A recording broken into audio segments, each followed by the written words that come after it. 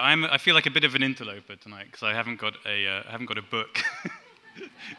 so uh, maybe, maybe one day I, I, will do one. I'll come back. Um, but um, yeah, I have a, a, small architecture office in, in London. Um, and our focus is um, not so much on style, following styles or trends, but it's about kind of trying to stimulate um, a different way for people to experience uh, architecture and design.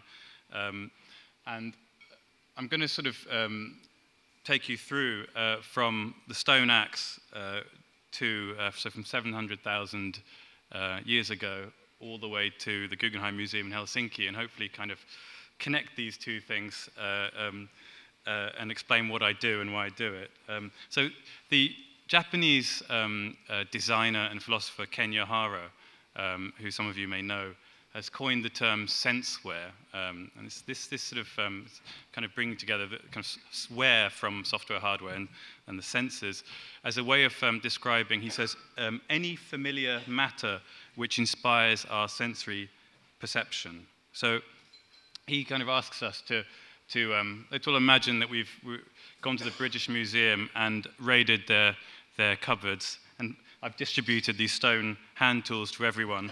Um, and we're holding it in our hands, and um, we can feel its texture and its weight, its hardness, uh, the sharpness of the edges. Uh, and you can imagine actually the, uh, the thrill of just pounding something with it, uh, smashing something. Uh, so, this is a kind of object which really uh, evokes a sensory reaction in us. We understand it inherently. And at the same time, um, maybe it's because you know, we've been using these as, as, a, as human beings or some form of hominid for a, a million years. So um, uh, Richard can probably I mean, uh, maybe controversial thing to say, but Richard can probably tell us more about it. Um, so um, this object gives us a, a creative impulse. And I'm, I'm, very excited by the idea that, um, that something can hold that sort of um, uh, quality. So Kenya Hara also did a, a, very nice project I want to show you uh, quickly, which is uh, the opening program for the Nagano Olympics uh, in Japan. And um, on the left is the program, and on the right is the kind of beautiful, crisp Nagano snow. And he describes uh, as follows You worked your way forward step by step on the newly fallen cotton ball snow. Your footprints showed through to the dark soil beneath this, this soft, translucent ice. Behind, you left dotted footprints. For anyone touching this paper on the left, this is a memory that is involved and enmeshed with images in his mind. The paper of snow and ice, he calls it, is a trigger. This contrivance is design. So it's, it's a paper which he designed, it's puffy paper, which when it was debossed with um, uh, these letters of the program, took, took on the kind of feeling of ice. And when, when, when reading this program, you somehow uh, you can sense this, um, uh, the, all of what the Olympics and well, all of what Nagano is about. So this project is something which I did uh, uh, soon after graduating for the, at the Design Museum in London.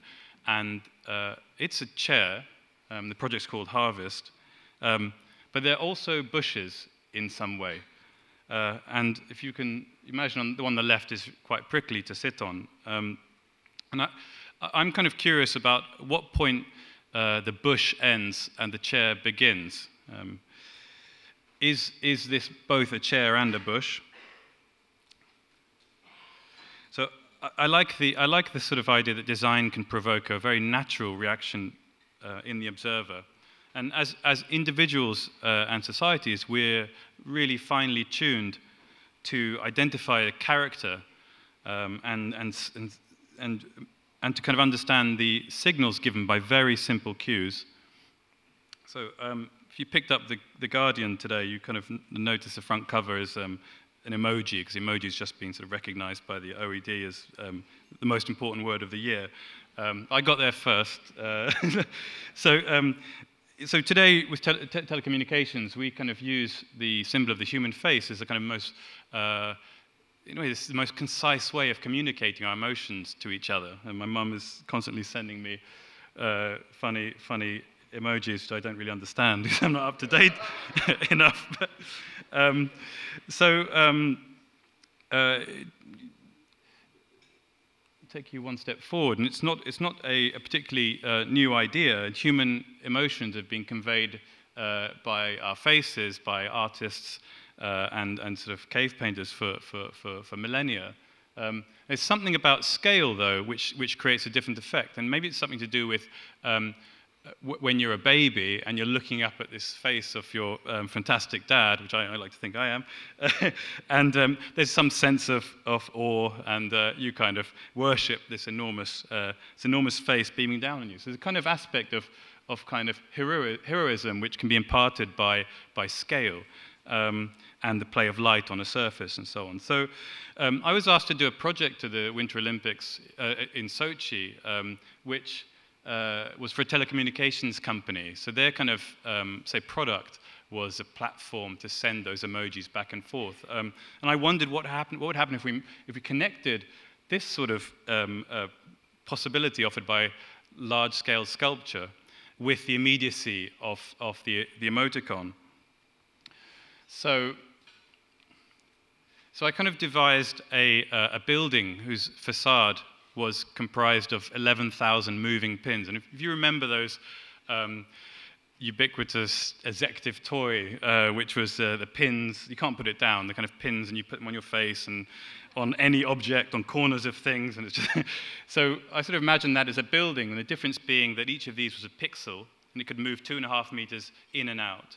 Uh, and, um, and also had the ability to, to, to change color and emit light. Um, and people entering this building at Sochi would be 3D scanned, and their faces would be um, displayed back to them uh, as they left the building. This is the first test.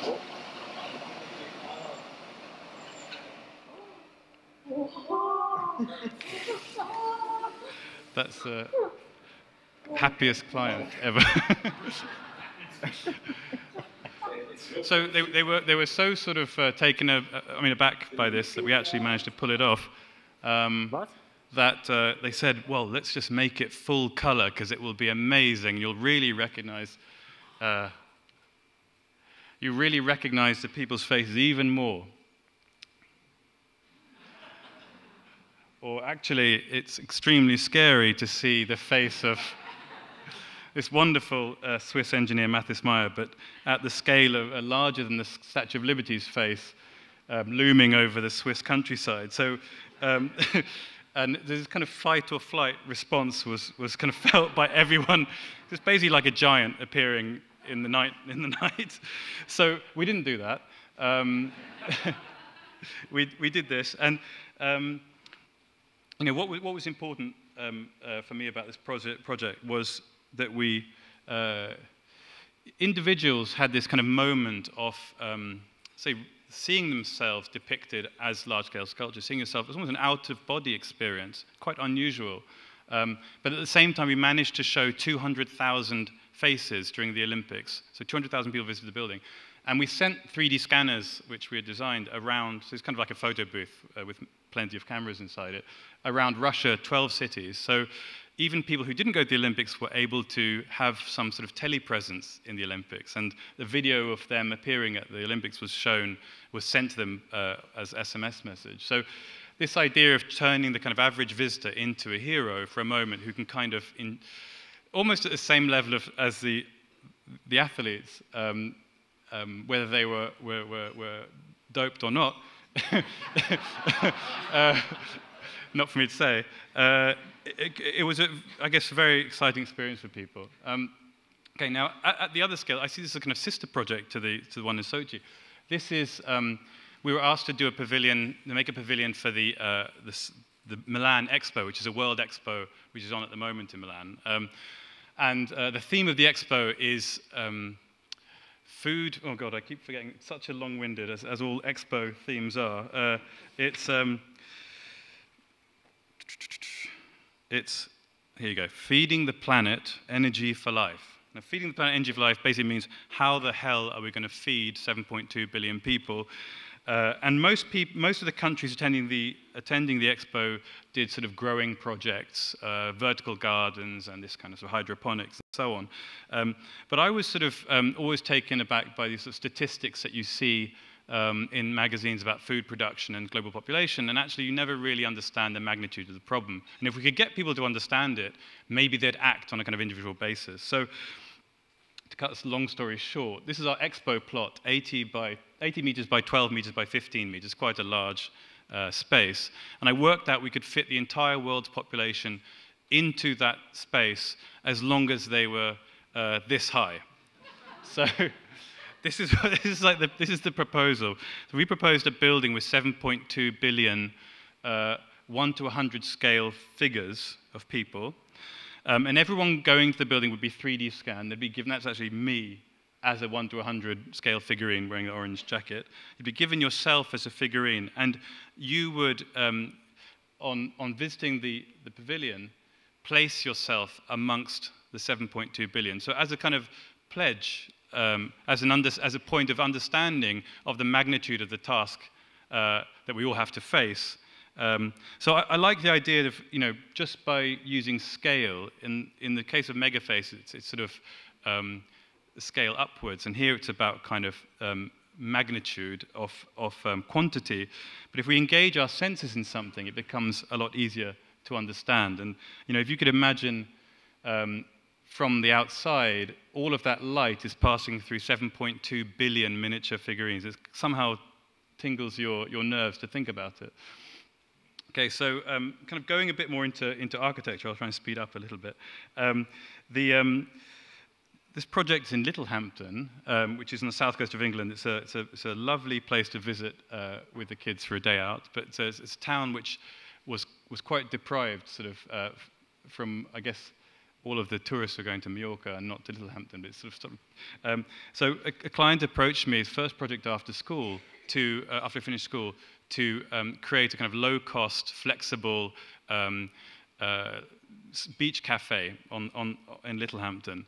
Um, so how does this relate to sensory architecture? Well, we, I used motion and change, uh, and giving that kind of power to the building, it was able to open and close uh, like a plant. So the building has its own character, which changes through the seasons. It can adapt to like trade, um, but also uh, there's a strong, a strong sense in the building of possibility, which is kind of offered to the people who visit there. So if you could imagine um, the sea spills inwards into the inside, and the inside spills outwards, kind of like water pouring between glasses. And that's, that's a kind of feeling that um, is taken, is, give, is given to people there, and the possibility of, of enjoying the space is something people naturally, uh, naturally gain. So it sort of inspires action.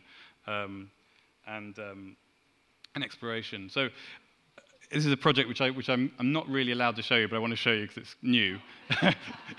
We've just completed, or just about to complete, this school playground in Chisenhale uh, School in, in Tower Hamlets. Um, and this was um, this is a school, it's not, not a particularly wealthy school, so, and they didn't have much space. So we, um, it's got sort of two parts to it. One is a hill, the school had no kind of topography. And the hill um, is trying to, well, I, I personally remember this, um, these tarmac mounds that I'd see as a child uh, next to roadworks. I go and want to go and lie on them because they're kind of warm, but you find out they're really sticky and hard. so I wanted to create a soft one of those. Um, and also, um, this elevated room is kind of place where anything can happen. And this is this sort of fine texture. It was about the kind of feeling of when you only run a feather across your upper lip, this sort of really fine sort of um, and which uh, I wanted the kids to be stimulated by. Um, so rather than being kind of a, a, a really prescriptive environment, it's a, it's a, sort of, it's more like playing in a field where, where anything can happen. Those are my kids, actually. Uh, so um, I, I, I, like the idea that um, any creative instinct uh, can, can, can be, can, this building can materialize any of our creative instincts. I'm going to quickly show you two, two very fast films. Uh, this is a film, here we go. So um, this is a project we did this year in China on a street, and the only param- the parameter was the street. There was no brief at all. And so I was sort of inspired by the idea of um, Chinese scrolls and how they have multiple viewpoints along a length.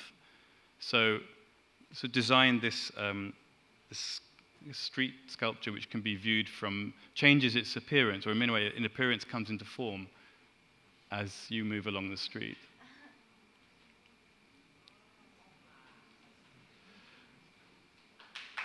Thank you.